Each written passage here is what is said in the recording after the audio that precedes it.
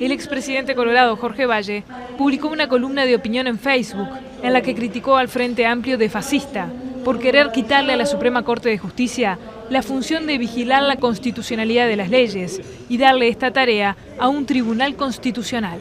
Nosotros hemos hablado, yo, yo concretamente hablé de que en Uruguay todo converge en un solo tribunal, que por ejemplo en Francia, que creo que no es un país fascista, por lo menos en mi concepto, este, hay un tribunal específicamente para las cuestiones constitucionales, que es tan importante como, como la Corte Suprema.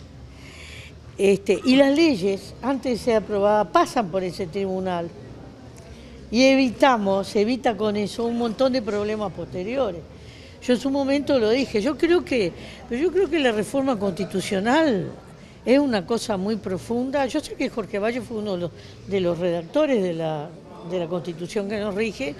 Bueno, probablemente la mire con un cariño diferente de, los otros, pero este, esta constitución, por ejemplo, tiene un solo artículo, que es el 47, que habla de cuestiones del medio ambiente y todavía tiene problemas de redacción ese artículo, como quedó después de la reforma, porque no considera las aguas pluviales, solo las aguas de superficie.